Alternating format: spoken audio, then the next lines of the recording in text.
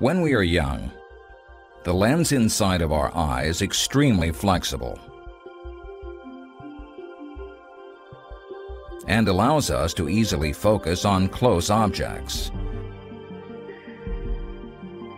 Over time, the lens gradually loses its flexibility, which makes it more difficult to focus on close objects.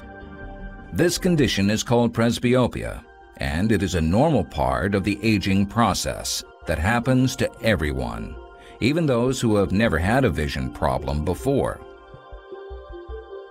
In the early stages of presbyopia, most people have difficulty reading small print, such as on a menu, a cell phone, or a newspaper.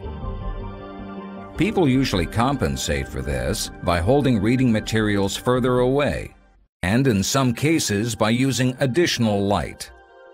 As the condition progresses, most patients are unable to hold printed materials far enough away to see them clearly.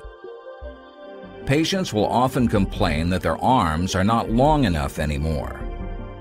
At this stage, most patients will require some type of near vision correction because the lenses inside our eyes continue to change over time, it is important to see your eye care professional regularly for routine eye examinations.